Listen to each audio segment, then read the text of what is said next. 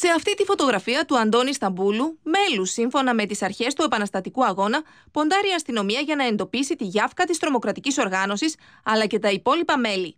Οι διοκτικές αρχές δεν έχουν καμία αμφιβολία ότι πρόκειται για το βασικό κομμάτι του επιχειρησιακού βραχίωνα της οργάνωσης.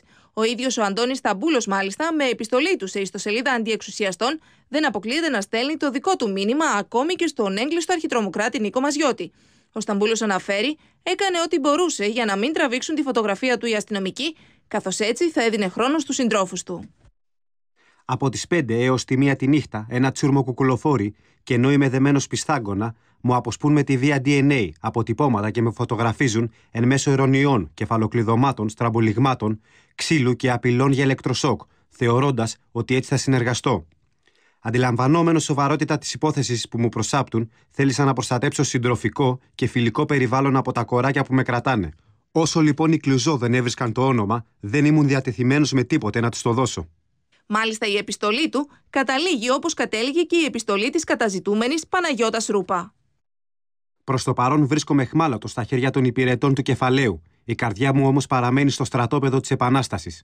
Ο αγώνας συνεχίζεται. Ζήτω η Επανάσταση. Ζήτω η αναρχία. Αντώνης Σταμπούλος από τη λεωφόρο Αλεξάνδρας 173. Οι αστυνομικοί από τη στιγμή που ταυτοποίησαν τον 30χρονο άρχισαν να απλώνουν ένα δίχτυ ερευνών. Ξεκίνησαν από το πατρικό του σπίτι στο Μαρούσι, το οποίο αποτελείται από τρεις διαφορετικούς χώρους και στον έναν από αυτούς έμενε ο Σταμπούλος.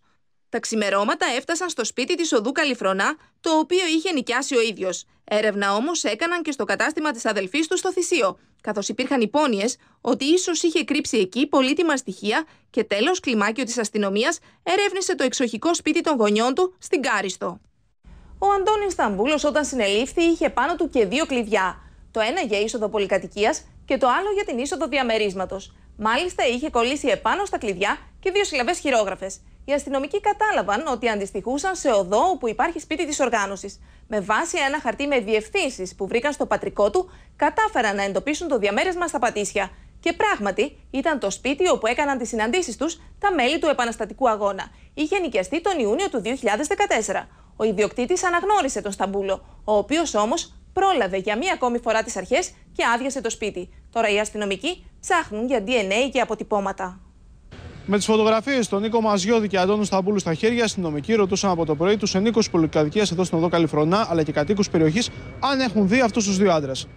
Στο πατρικό του σπίτι, στο Μαρούσι, οι αστυνομικοί βρήκαν κλειδιά, ένα περίστροφο μη λειτουργικό, χαρτιά με σημειώσεις και άλλα χαρτιά με διευθύνσεις. Ο Σταμπούλος όμως πρόλαβε και εξαφάνισε το κινητό του τηλέφωνο, ενώ οι αστυνομικοί δεν βρήκαν τηλεκάρτες ούτε τον ηλεκτρονικό του υπολογιστή. Ε, πριν ε, δυόμισι μήνες έγινε μια έκρηξη.